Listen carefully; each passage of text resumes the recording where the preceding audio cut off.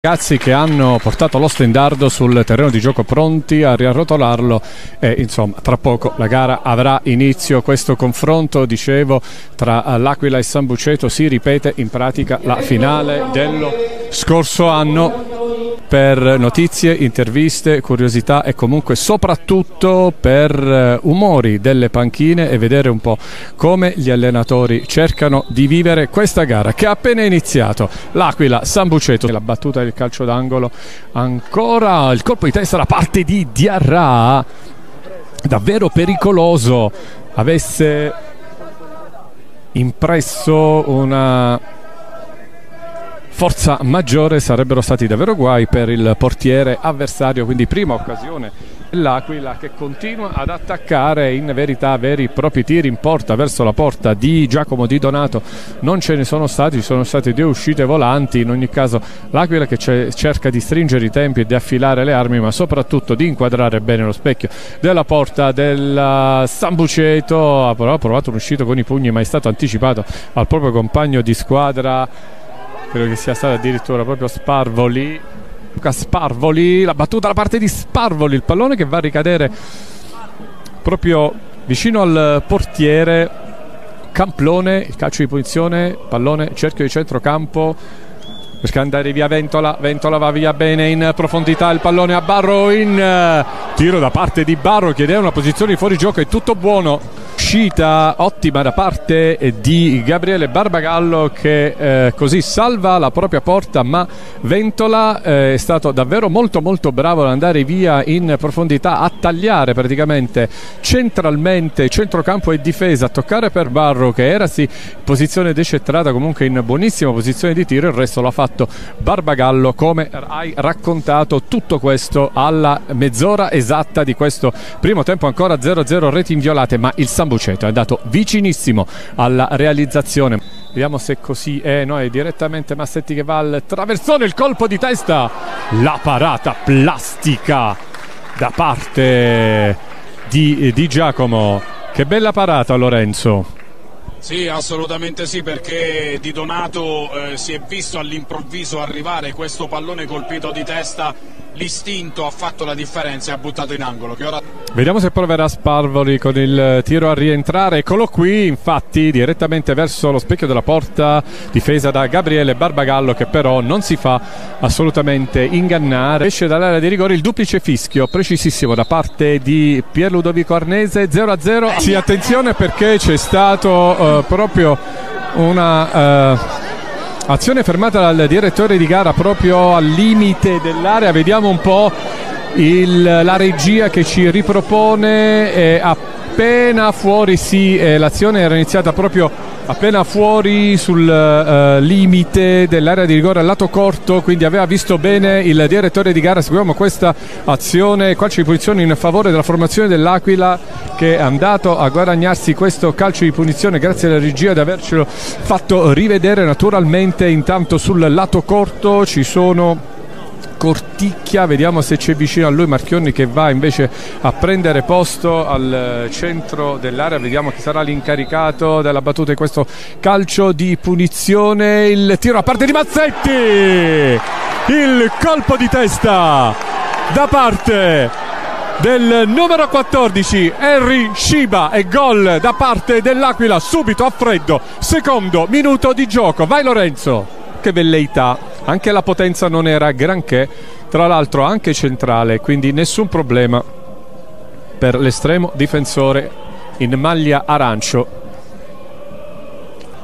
Ancora Luca Orlando che con il destro va a tagliare di prima verso Barro, attenzione Barro può andare al tiro però preferisce appoggiare sull'esterno in area, vediamo un po' se riesce a tirare. La parata di Barbagallo che ci mette il piede al decimo guardate il replay l'intervento di piede di Barbagallo sul tiro di Luca Sparvoli. Poi però ancora un colpo di testa da parte di Federico D'Angelo. Attenzione perché c'è il gol di Barro diciottesimo minuto 19 il pareggio da parte del Sambuceto. Contrasto aereo con il neo entrato Mattia Rodia, pallone che è sceso sul destro di Barrow che è stato bravissimo nell'anticipare l'uscita di Barbagallo e col destro il pallonetto che si è infilato alle spalle dell'estremo difensore aquilano.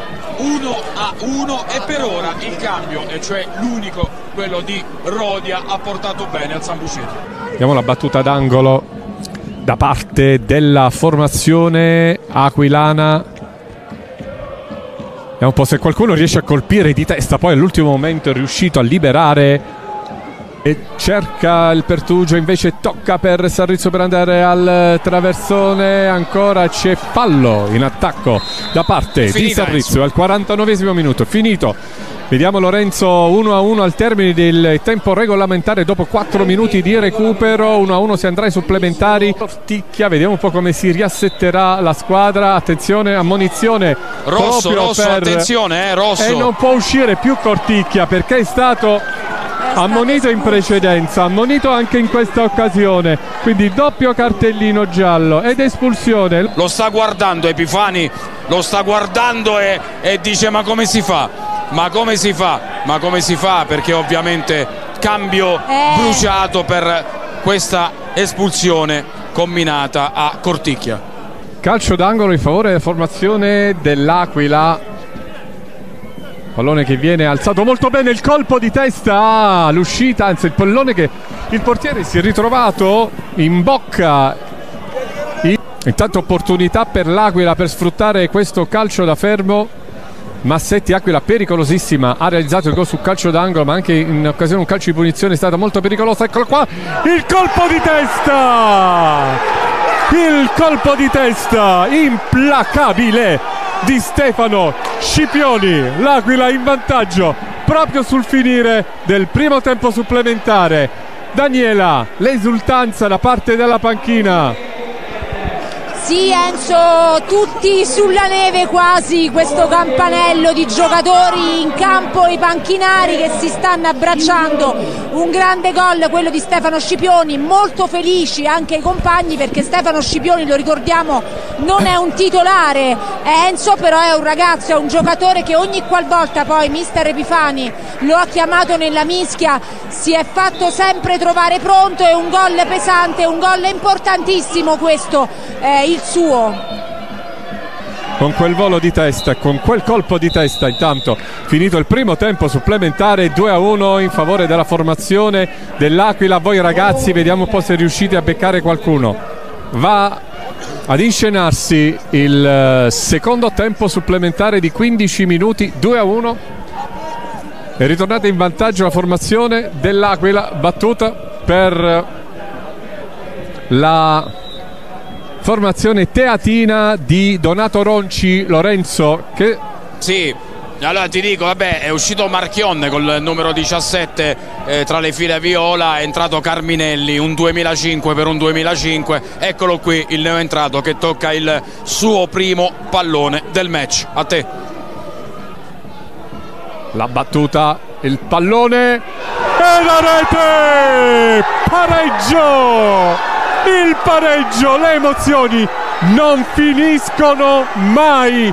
Le emozioni al Pallozzi non finiscono mai e noi di Rete 8 ve le stiamo raccontando in diretta.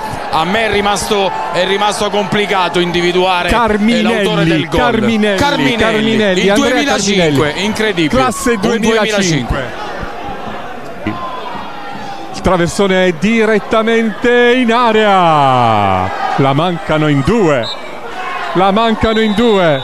L'arbitro dice che si può finire qui. Calci di rigore. Quindi 2 a 2 al termine dei primi 90 minuti e anche dei due tempi supplementari. Arfisi contro Barbagallo la rincorsa. Pallone a destra. Portiere a sinistra il fischio da parte del direttore di gara il sinistro la palla nel sacco. 1 a 1 sconteggio dei calci di rigore se volete 3 a 3 Camplone palla nel sacco. Il tiro la parata di Di Donato. Con una freddezza straordinaria. Nicola Santirocco realizza il fischio, il tiro centrale a mezza altezza, forte Massetti è lì sul pallone. Il gol anche qui è andato a gonfiare la rete. La rincorsa, il pallone in rete ed è festa Sambuceto. Sambuceto che si aggiudica la Coppa Italia di eccellenza dopo una doppia rincorsa. Possiamo ben dire quindi che the winner is Sambuceto e possiamo augurare anche di andare avanti in questa manifestazione a livello nazionale. Eccola qui la Coppa che viene alzata da Capitan Marfisi, l'applauso del Pallozzi alla squadra di Donato Ronci